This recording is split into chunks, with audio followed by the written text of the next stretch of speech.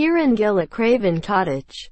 Southampton thought they had found the opener at Craven Cottage as Shane Long ran through to score, only to notice the offside flag had been risen.